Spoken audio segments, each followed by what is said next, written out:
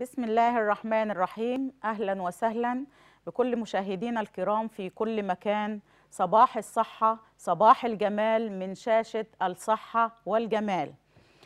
في في برنامج هي دي مصر وإطلالته الجديدة وفقرة بنت الصعيد.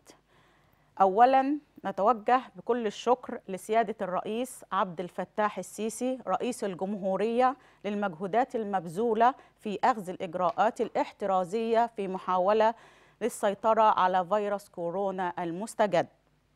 كما نوجه كل الشكر والتحية للجيش الأبيض اللي أثبت فعلا إنه قادر على آه، مواجهة الأزمات. تحيا مصر. حمى الله مصر وشعبها ورئيسها من كل سوء. أهلا وسهلا مع ضيوفي الكرام. آه، أهلا وسهلا بكل مكان. الأستاذ محمود جاد سليم صاحب شركة النقل للمقاولات العامة من مركز فرشوط قرية قراعة رفاعة. محافظة رفاعة محافظة قنا أهلا وسهلا أهلاً بحضرتك يا. فندم. أهلاً دكتورة صباح محمد محمود بكلية الهندسة جامعة حلوان. أهلا وسهلا بحضراتكم. معانا موضوع النهارده مهم جدا جدا. مشكلة مطروحة بنواجهها نكاد نكون في كل بيت مصري وفي كل مكان وفي كل شارع. آه، موضوع عام مش موضوع خاص ببنت الصعيد. في كل مكان بتواجهه المرأة المصرية ألا وهو الحرمان من الميراث. النهارده بنشوف هذه مشكلة في ازدياد مستمر وفي كل مكان بتعاني منها ليست المرأة فقط بيعاني منها الكثير الرجل بيعاني منها الابن بيعاني منها كل فئات المجتمع. بس النهارده بنتكلم عن المرأة بوجه عام وبنت الصعيد بوجه خاص بنخص بالأسباب لأن في أسباب زيادة في صعيد مصر بتؤدي إلى تفاقم هذه المشكلة. وبكلامنا حضراتكم بنوجه إحنا مش جهة مش بنوجه اللوم ولا بنقول السلبيات أكتر. بالعكس إحنا بنتوجه بالإيجابيات في أي موضوع بنطرحه ومش بنحاسب جهة لا محاسبة. ولا نقد. فاهلا وسهلا بحضراتكم وبنبدأ آه، بنسأل حضرتك يا أستاذ محمود النهارده مين النهارده اللي بيحرم المرأة من الميراث؟ من هو الشخص؟ مظبوط يا فندم. بسم. الله الرحمن الرحيم. تحية طيبة للشعب المصري الغالي. تحية طيبة للسيد الرئيس. تحية طيبة للقوات المسلحة. تحية طيبة للشرطة المصرية. وتحية طيبة للدكتورة صفاء وتحية طيبة للدكتورة صباح محمد وأشكر فريق العمل.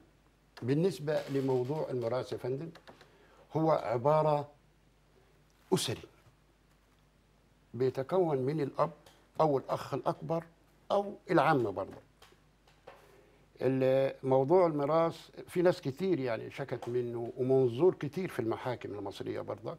تمام حضرتك. وماشي عندنا أنا هتكلم على الصعيد وهتكلم على مصر يعني على الدولة عامة يعني بس تمام. الصعيد في إيه؟ في موضوع العرف هو اللي بيحل حاليا. المشكلة المشكلة. بيتوجه آه. فبيجي ال- ال- الأب إذا توفى قبل ما هو يعطي لكل واحد حقه تمام. آه، ممكن الأخ الأكبر يطمع. وممكن يطمع على الأخت وممكن يطمع على أخواته ككل آه، يعني في مش ب- أخذ آه، الميراث آه أو- الميراث ككل آه. يعني. فهي قضية موجودة ونتمنى إنه إن شاء الله يعني ناشد فيها ولي الأمر ويكون الناس برضك تخاف ربنا في هذا الوضع لأن الست لها حقوق ومطلوبة إن هي تاخد حقوقها زي زي أخواتها بالظبط هل النهارده القضية والمشكلة دي في تزايد مستمر ولا بدأت تتراجع شوية؟ مثلا النهارده اللي بينظر للمشكلة لا هو هو لا حاليا حاليا كويس. الأول آه. كانت أكتر نسبة كبيرة يعني. بس دلوقتي يعني بقت نسبة بسيطة. آه. لأنه برضك آه، كبار القرى أو المدن أو المشايخ أو العمد راجع لإيه آه, حضرتك؟ آه لل- يعني بيرجعوا برضك للناس دي بتحل برضك مع مع القضاء. وممكن قبل ما توصل للقضاء بتكون اتحلت عرفيا يعني. تمام. أحسنت يا أستاذ محمود. شكرا. آه، حضرتك يا دكتورة النهاردة ما هي الآثار السلبية والنفسية المترتبة على حرمان المرأة من الميراث. بسم الله في الرحمن وجهة نظر. حضرتك. آه، بسم الله الرحمن الرحيم. في البداية أحب أشكرك وأشكر فريق الإعداد في البرنامج. فندم. وأشكر السيد الرئيس على المجهودات المبذولة في مواجهة آه، وباء كورونا حاليا. وبدعو لمصر يا رب آه، إن تعدي. الأزمة دي على خير. إن شاء إن الله شاء الله يا رب. آمين. طبعا بيبقى فيها آثار سلبية كبيرة قوي على المرأة اللي ما بتاخدش الميراث بتاعها. ولان كمان المشكلة إن بتبقى المرأة ضعيفة يعني هي بتحس بالقهر وكمان اللي بيطالب بميراث ده بيبقى يتيم سواء كان صغير أو في أي مرحلة عمرية. فالإحساس بالقهر واما اليتيمة فلا تقهر. فالإحساس بالقهر وما بياخدش كمان ميراثه ما بيعرفش إن هو يأدي حياته في تعليمه وفي شغله وفي جوازه ما بياخدش حقه هو له حق مش عارف ياخده. ف... فدي بتبقى آثارها النفسية كبيرة جدا وبيبقى فيه عواقب مش مش محمودة مش خالص. يعني. أحسنت يا دكتورة. هل حضرتك أستاذ محمود النهارده الحرمان من الميراث بيقتصر على المرأة في الصعيد أم في كل مكان؟ لا في كل مكان. في كل مكان. مظبوط. الاكثر الاكثر حضرتك لا الاكثر بيبقى في. الصعيد. في الصعيد. آه للأسف يعني. إيه الأسباب اللي بتؤدي إلى تفاقم ال- المشكلة آه، وأنها تزداد في الصعيد؟ الأسباب بالنسبة للصعيد بتبقى طبعا في طبعا ال- الوضع الأب بتبقى الحالة بتاعته آه، كويسة جدا أرض. وفلوس والكلام ده. فبيجي الولد طبعا بتاخده المطاعم وبيخاف يعني المفروض يخاف الله في هذا الوضع. فبيبص إنه طبعا الأرض دي هتروح لأخته وأخته هتروح لده. يعني النظام ال- أيوة، آه، العادات آه، اللي أنت عارفاها وأنت بنت الصعيد يعني وعارفه الوضع ده آه طبعا مطروحه فإز... آه مظبوط يا فندم. مظبوط يا فندم. فإزاي ان هو طبعا إنه آه، ده ياخد أرضنا وأرض أبونا ومش عارف إيه؟ طب ما دي ما دي بنت أبوك ودي لها حق والشرع بيقول كده. يبقى أنت هتمنعها من الشرع بتاع ربنا. بالظبط أحسنت حضرتك. آه، هل حضرتك النهارده العادات والتقاليد لها دور بتلعب دور في حرمان المرأة من الميراث؟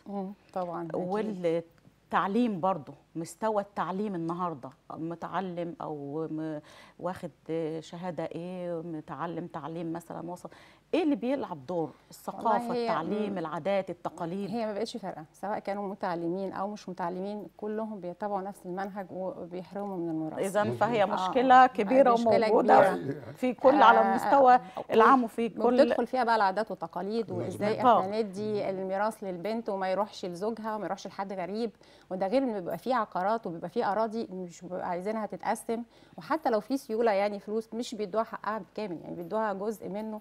آه وكمان على بال ما بتاخد وبتطالب المستوى التعليم للمرأة كمان إنها. آه تطالب بحقها ده مش موجود يعني التوعية في إن هي يبقى عندها بتخاف ده كمان. أحيانا ما تقدرش يا إما هي خايفة يا إما هي مش عارفة أو مش عايزة تفقد صلة الرحم مش عايزة تفقد صلة رحم لأن آه، هم وتبعد عن- أخوها اللي هيقف جنبها أهلها. وعمها واللي هيحضروا فرحها واللي هيبقوا جنبها بعد كده ويزوروها ويدوها. فبيبقى في أسباب كتيرة جدا بترجع لها آه، في انها مش عارفة تاخد حقها. مظبوط يا فندم. تمام أحسنت يا دكتورة.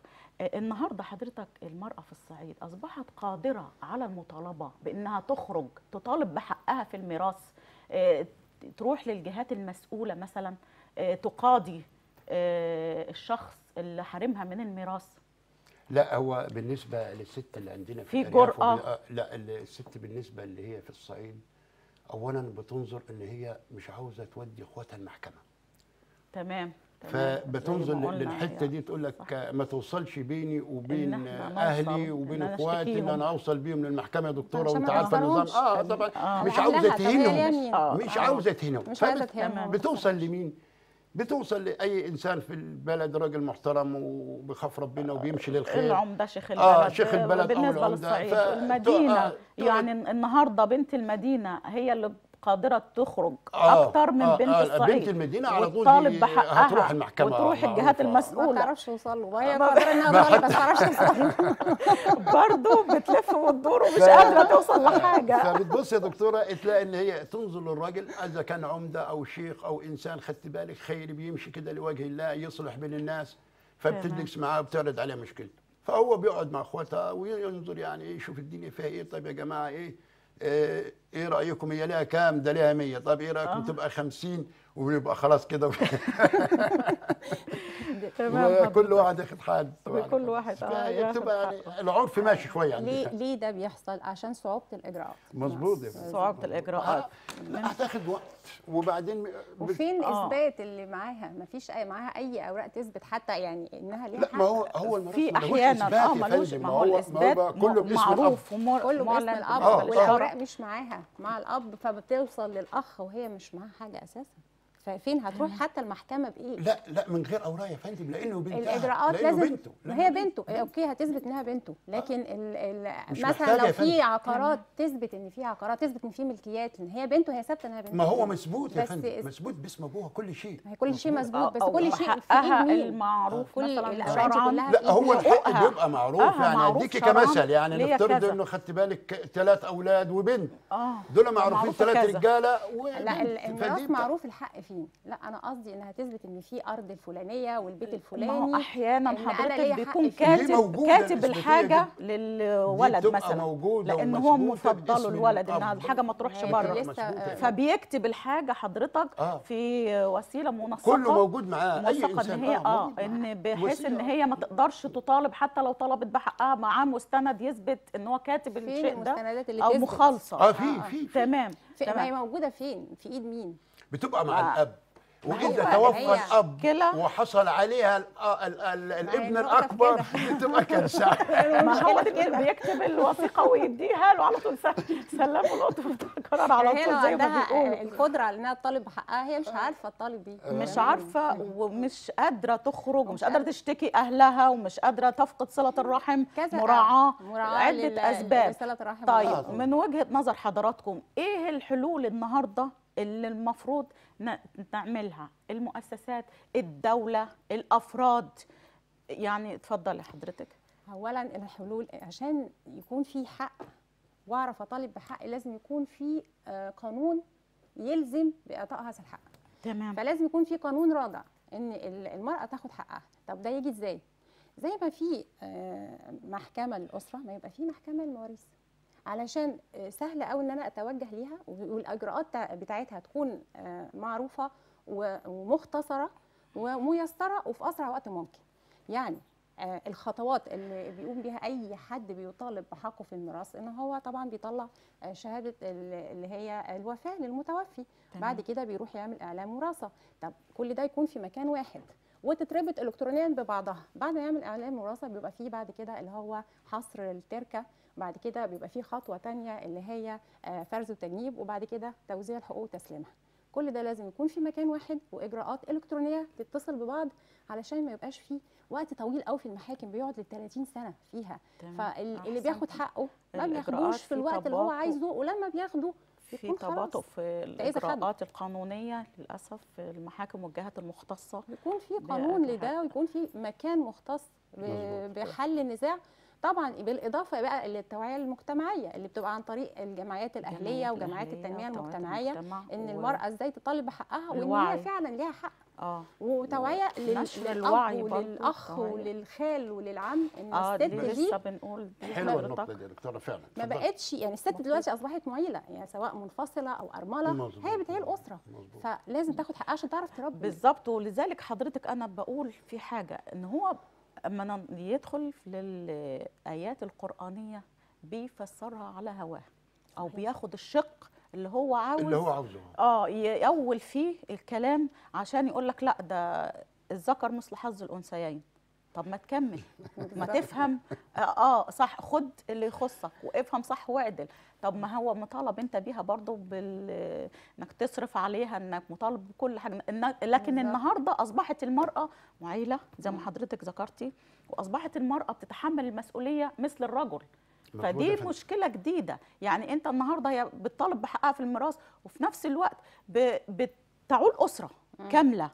فيعني بتحرمها من حقها. أصبحت اللي انت بتحرمها من الميراث النهارده مش قادرة تعمل أي حاجة خالص ولا قادرة مثلا تعول أسرتها ولا قادرة على المطالبات مثلا المطالب بتاعة الأسرة كلها في ظل الظروف اللي إحنا بنعيشها طبعا وظروف الحياة وغلو الأسعار والمعيشة. حق حق موجود ما ده بالفعل حق هو مش حتى لو مش معترف بحقها طيب يعني هي عليها عبئين النهارده؟ آه،. فالمشكلة إحنا بنقول للوعظ برضو الديني أو مفهوم الخطأ عنده. طب إحنا يتوجه لمين؟ المفروض بيبقى فيه حضرتك توعية مثلا أو اعتراف هي هي بص بص في صفاء، حضرتك؟ أقول لك على حاجة. اتفضل. ال- الموضوع ده بالنسبة موضوع ال- الميراث ده بالذات المفروض ما يوصلش للمحكمة. أيوه. خدت بالك؟ ولا يوصلش لأي شيء. ليه؟ لأنه إنسان خدت بالك اولا دي أخته وهو أخوها وهي مش هتفرق بين الأخ وبين أخته لأن هي لو احتاجت منه في أي وقت لأنه هيكون ظهر ليه فده الوعي هيكون لمين يا فندم؟ أنا أنا بكلمك يا دكتورة على الوضع اللي هو الإسلامي لأنه ده شرع لأن بتطالب بحقها. ده حق مطلوب. فلما تبص أنت على الأخ إذا الأب نظر إلى ربه وخاف من اليوم الآخر بتاعه مش هتوصل للمحاكم. وإذا الأب تهاون والأخ. سمح لنفسه برضك ينظر لربه. ليه؟ لأنه هي- هيروح هيروح لربنا يقول له إيه؟ هياخد معاه فلوس هياخد معاه أرض. ده اخته أيوه. هو بيبتدي حرمان المرأة من الميراث والأب عايش لأن هو بيدي للابن أكتر ما بيدي للبنت وهو عايش. يعني ما بيدي للابن لا، شقة. مش- حضراتكم في. مداخلة لا، وبيجي معانا مداخلة تليفونية. الشيخ ماهر عطية شيخ كوادر العرب. اتفضل يا فندم. ألو؟ ألو؟ ألو السلام عليكم ورحمة الله وعليكم وبركاته. السلام ورحمة الله وعليكم وبركاته السلام أهلا وسهلا. بحضرتك يا فندم. تحياتي يا ليك أهلا وسهلا يا أهلا وسهلا. معك ماهر آه، عطية من أبو ثلاث. أهلا وسهلا بحضرتك يا فندم. صباح صباح الصحة وصباح الجمال.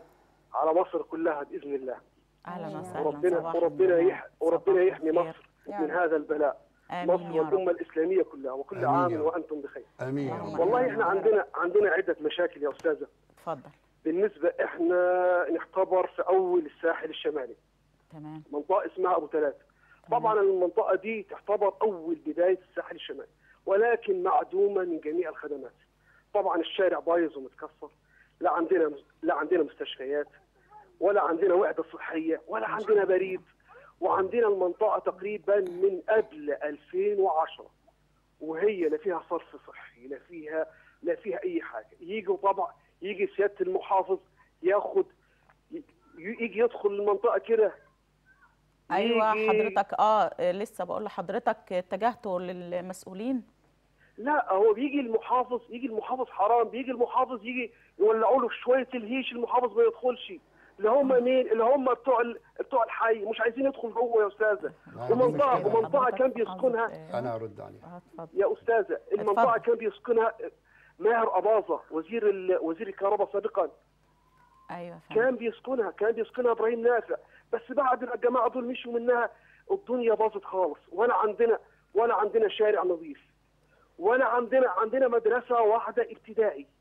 ما عندناش مدرسه تمام. الخدمات يعني معدومة عندكم ما حضرتك عندنا أيوة. ما فيش ما فيش ما فيش المنطقة طبعا يا أستاذة يعني وضع لك طبعا آه، لا وأنا خطير. وأنا وأنا هتكلم آه، في النقطة بتاعت الشيخ لأنه هو بيتكلم كلام آه اتفضل في يعني حاجة تانية موجود. حضرتك في سؤال تاني آه والله ما أنا بقول لك يا أستاذة ما فيش إيه، طبعا يعني قبل ال قبل ال قبل المرض ده وانتشاره ربنا آه، يكفينا الشر آه. يا رب يكفي ربنا. كلها يشفي يا. رب يا رب يا ان شاء الله رب. باذن إن شاء الله كان. أولادنا أولادنا بيلاقوا صعوبه جميعا إن في شاء الله. الوصول للمدارس أنا بقول لك كان كان فعل ماضي. كان بيلاقوا صعوبة في وصول المدارس طبعا إحنا عندنا وحدة صحية بس اسمها وحدة صحية بس محسوبة علينا بس هي تبعد عن المنطقة بتاعتنا تقريبا 7 8 كيلو يا أستاذ. آه في صعوبة في الوصول ليها. في صعوبة ليها. يعني إحنا ما عندناش لا عندنا بريد. إحنا نتكلم على خدمات. ما يعني فيش لا خدمات كده. آه. آه لا عندنا وحدة صحية. إحنا ما بنتكلم إحنا ما بنتكلمش على ما على مستشفى عام مثلا. إحنا عايزين وحدة صحية وحدة يعني. طبعا آه تخدم أهل القرية. آه الله يفتح عليك. آه، طبعاً. أهل القرية. وطبعا طبعا عندنا مدرسة واحدة. طبعا أنت عارفه عارفة قصة المدارس. مدرسة واحدة ابتدائي. عشان أولادنا ينتقلوا من مدرسة لمدرسة تقريبا 10 15 كيلو. ورايحين جايين وسريع وطريق سريع. طبعا بيحصل حوادث كتيرة. ربنا يكفينا الشر ويكفي أولادنا الشر يا رب. اللهم آمين يا رب. فإحنا عايزين نظره نظره نظرة من المسؤولين لمنطقة أبو تلال. تمام يا هذا ما نتمناه من الله عز وجل. آمين يا رب. تمام يا فندم. إحنا شاكرين يا شيخ ماهر وهيرد سيادة النائب على حضرتك. اتفضل حضرتك أستاذ محمود. الموضوع اللي بيتكلم فيه الشيخ هو موضوع موجود حاليا. وفي قرى كتير يعني. آه آه و... كمان ومنهم يعني. القرية اللي عندي. تمام. تبقى سعادتك. أنا اولا هكلمه في نقطة ال- المركز والكلام. آه. هو بيقول إن هو محتاج تقصد حضرتك أنا يعني هتكلم كمان؟ برضك آه داخل ده برضك. آه. تمام هو بيتكلم. بيقول لك إن هو عاوز مركز مشكلة طبي. عامة آه.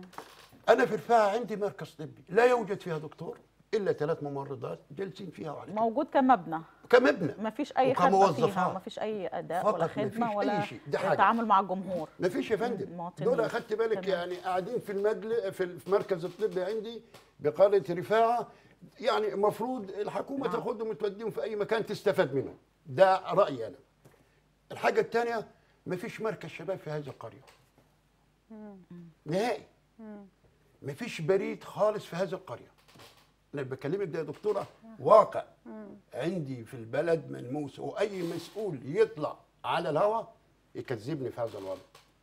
حتى البريد. معايا السيدات تبدأ من العمر من 50 ل 60 سنة ل 70 سنة ل 80 سنة. عشان تروح تقبض 500 جنيه ولا 400 جنيه بتجري بتاع حوالي 3 4 ساعات. مكان آخر مفيش. بعيد بعيد. أهل القرية تبرعوا بأرض لبناء مكان موجود. مكان آه آه للبريد. عليه خدمة مثلا آه. ومشكور. القرية وشباب القرية إن هم قاموا. بهذا الجهود. ومشكور للي تبرع. وتبرعوا ماديا. خدت بالك. آه، ووضعوا الأرض. لنفسهم وتمتعوا عشان بالدين. وبرضك يا دكتورة خدت بالك؟ حتى الآن الحكومة ولا اتجهتش ولا قالت والله يا جماعة أنتوا تبرعتوا بالأرض وتبرعتوا بالفلوس طب تعالوا إيد المخطط أهو ونشوف المقاول نشتغل نرحم بالظبط. الناس. يعني المفروض نرحم الناس. لكن المسؤول لا. أنا أنا معايا السيد الرئيس خدت بالك ده في نظري أنا خيال بيرمح في ميدان وحده. صح صح فعلا. يعني خيال بيرمح في في ميدان لوحده. والمسؤول أول بتروحي له طيب إيه رأيك؟ مر علينا بكرة. واذا. ده أي زائد حضرتك آه. بتقول كده. في معظم القرى آه. في معظم القرى أنا آه، بتكلم آه، عامة أنا بكلمك على. القريه اللي عندي يعني ده ده مشكلة أنا بكلمك على القريه اللي عندي تمام أنا عندي قرية رفاعه دي القرية. الوحيدة من يوم ما أنا نشأت ما شفتش أي شيء خدمات. ملموس من الحكومة نهائيا مفيش لا خدمات علاج أي مفيش خدمات خدمات. دكتور مش موجود عندي أنا في الوحدة الطبية مش عارف ليه ثلاث ممرضات جالسين بيعملوا إيه هي مبنى. خدوهم ودوهم في المكان ده حتى إيه تمام. إحنا بنضم يعني صوتنا للأسف طبعا لصوتك حضرتك يعني. وصوت الشيخ ماهر عطية. وإن شاء الله للمسؤولين في حل يعني. هذه إحنا خرجنا المشكلة. من الموضوع بتاعنا. أهي. آه بس آه بس إيه؟ موجود. هي كلها مواضيع مهمة. هو بيطلب دول لك إيه مركز. والله هيجيبوا لك. مركز بس مش هتلاقي في حاجة. تمام. تحيات ياخد ال- المركز اللي عندي في الفاعة بالموظفين تحيات لحضرتك. المركز موجود ومفيش خدمات في نهاية الفقرة بشكر ضيوفي الكرام دكتورة صباح محمد محمود والأستاذ محمود جاد جاد سليم. سليم تحياتي. تحياتي شكراً. لحضراتكم. ونستمر في فقرات البرنامج تابعونا بعد الفاصل والسلام عليكم ورحمة الله وبركاته